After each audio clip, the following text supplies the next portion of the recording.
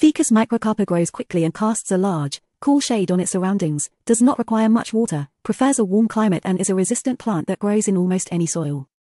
They can reach a height of about 15 meters and a width of about 14. The tree excretes dense aerial roots which are fixed in the ground mostly among the trunk of the tree or alternatively as a kind of span pillars, which gives the tree a unique look. Ficus blooms in visible flowers, which are hidden in a sheath called a syconium, which looks like a small, unripe, green-colored fruit. When female flowers are ready for pollination, the syconium expands to form a tiny pith.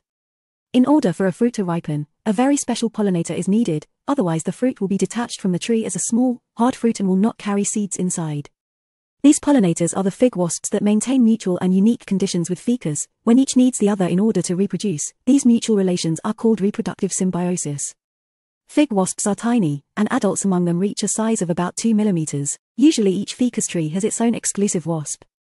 As previously mentioned, the syconium of the ficus opens an opening that allows the wasp to enter and fertilize it, when within the syconium there are two types of female flowers, and one type of male, each having its own role and time. The wasp enters the syconium when it already carries male stamens, it pollinates the tall female flowers, and lays eggs in the low female flowers. In the next step, the male wasps emerge and go out into the syconium space and mate with the females while they are still in the flower ovules. Males do not have wings so they do not leave the syconium, but carven exit to the females outside the rigid skin. In the last step, the female wasps also go out into the cavity of the syconium and collect the pollen from the male flowers and go on their way to the new one to start the process around. At the end of the process, a syconium becomes a fruit with a single seed.